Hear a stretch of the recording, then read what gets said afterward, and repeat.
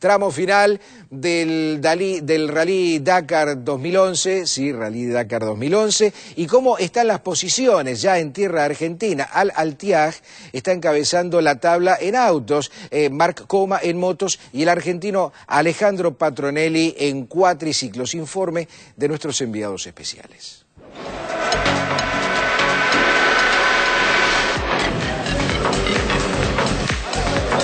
Como cada provincia de nuestro país, San Juan también le puso color y pasión al paso del Dakar. La localidad de Albardón recibió oficialmente la llegada de los pilotos con un banderillero muy especial, el gobernador de la provincia. Bajar la bandera hoy al primer piloto que llegó, la verdad que es un orgullo inmenso y los sanjuaninos estamos muy felices porque en esta provincia se van a correr dos etapas, esta que acaba de culminar uno de los pilotos y mañana creo que va a ser la definitiva a decir de ello, una de las mejores etapas.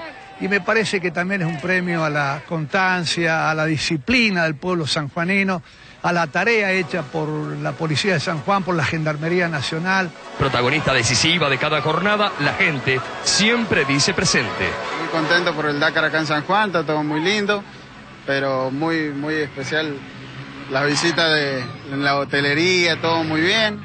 Este... Sí, la verdad que está bueno esto. O sea, nosotros el año pasado no, no pudimos venir, nos perdimos de esto, pero ahora hermoso. O sea, trajimos los niños que les encanta esto.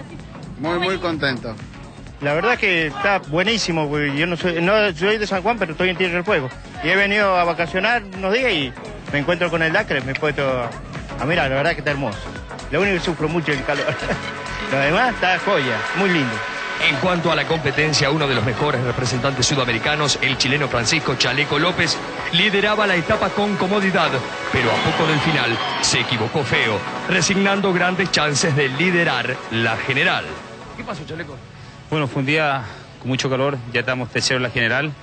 Eh, veníamos ganando la especial, me he equivocado una nota al final, un par de kilómetros, y después de eso la moto se medía mucho y prefiero llegar ahí a Buenos Aires en un tercero que, que no llegar, así que venimos contentos, venimos bien. Qué pena con la carrera que venías haciendo, porque estás cabeza a cabeza con dos tipos que parecen difíciles de vulnerar, ¿no? Sin embargo, venías ganando la etapa bien. Sí, la cagamos, como dicen ustedes, la cagamos y ya está. El mejor representante en Cuatris también en esta etapa fue argentino. Muy brava, muy brava. Mucho calor, mucha temperatura. hay que cuidar el Cuatri y el físico porque nos queda una etapa dura que mañana. Así que, bueno, vamos a ver qué pasa mañana. Gran parte del objetivo que tenías planteado lo cumpliste, lo lograste. Eh, el objetivo primero que era llegar, lo vamos a cumplir, ojalá, dentro de dos días. Una buena carrera en 50 Y creo que venimos haciendo una buena carrera, eh, bastante parejo, salvo los problemas que hemos tenido un par de días y un par de caídas fuertes, pero lo demás hemos sido bastante parejos y, bueno, si bien estamos lejos de la punta, pero pero también es muy difícil correr con un 700, correrle a los motores 900 y había trepadas muy muy largas donde donde el cuatri este, pobrecito, le cuesta mucho. De esta manera queda definida la etapa sanjuanina de este Dakar 2011, donde se van conociendo los competidores que pueden quedarse con la presente edición. Próximo destino, la provincia de Córdoba. Desde San Juan les informamos para Visión 7, Gabriel García, César Nena, Gonzalo Rodríguez y Juan Carlos Fernández.